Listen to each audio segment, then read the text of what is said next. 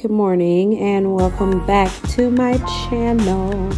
So I am in my weight loss journey right now. Um, the weight or the scale right now says 145. Um, you have to step on it a couple times. Please ignore my toes. I know that's gonna make you focus on them more. I need to get them done. Um, but I am 143.2. Um, I weigh myself three times just to make sure. So that's my goal. Time to lose weight. Let's work out.